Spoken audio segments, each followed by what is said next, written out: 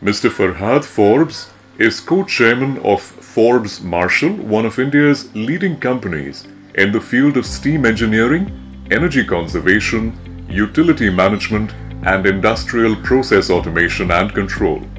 Farhad is chairman of Family Business International, which is the world's leading family business organization. He is also a chairman of the Confederation of Indian Industries National Task Force on Affirmative Action. He is also a former member of the Advisory Council at the Graduate School of Business, Stanford University, and former member of the Advisory Board of the MSX program at Stanford Graduate School of Business. Farhad is a recipient of the Sloan Distinguished Alumni Service Award. Mr. Bobby Kuriakose is the HR Director at Forbes Marshall and has been an important member of the growth in the past 30 years.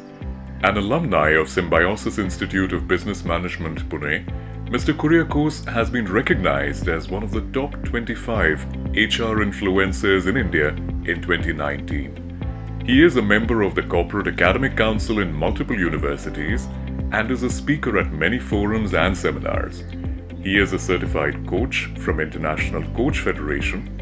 He is also a member of the CII Maharashtra Council since 2015 and is the co-convener of CII Maharashtra Forum on Human Relations. He is a member of CII National Committee on Industrial Relations and member of CII Task Force on Contract Labor. He advises a few hospitals and SMEs on HR interventions as well. Bobby is a life member of the Indian Society for Training and Development and was also a Secretary of National HRD Network Pune.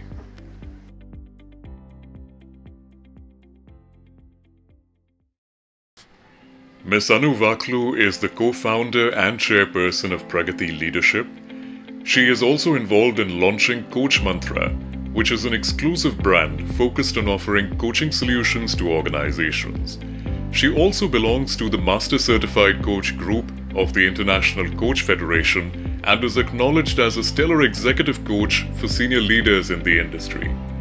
She is the national president of Soroptimist International, an organization dedicated to the growth and empowerment of women worldwide, and is a strong believer in the power of women at the workplace. Anu has written two books as well as is the author of various papers. She is also the holder of many national awards.